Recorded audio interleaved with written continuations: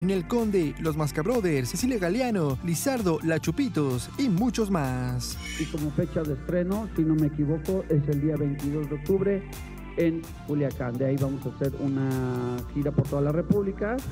Eh, probablemente en febrero eh, tenemos eh, una temporada corta en México para retomar gira eh, ahora en Estados Unidos. Por su parte, Inel Conde aseguró que no dejará la puesta en escena de las arpillas, pues tiene alternante en cada una de las obras. Ocupada en ver la agenda, cómo se va a organizar. La verdad que ese es un tema que, que me ocupa, ¿no? por sobre todo porque también pues mi bebé y, y todo, entonces es organizarnos. El disco, las presentaciones, todo.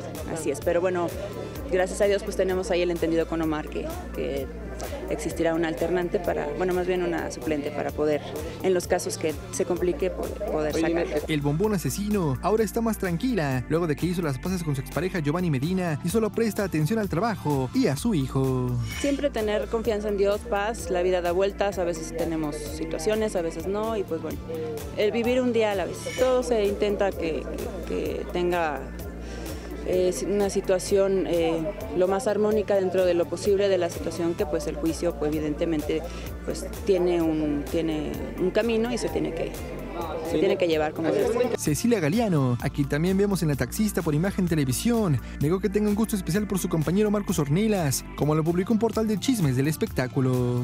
Así me río, ve, o sea, Ariadne es mi hermanita, o sea, y Marcos es un bombón que conozco hace años. O sea, no, nada que ver.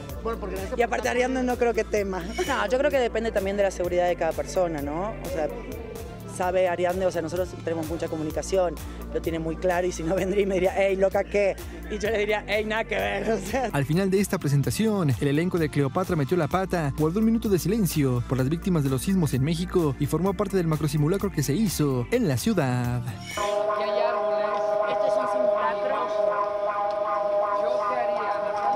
Todos los días sale el sol. Flavio Machuca. Sale el sol.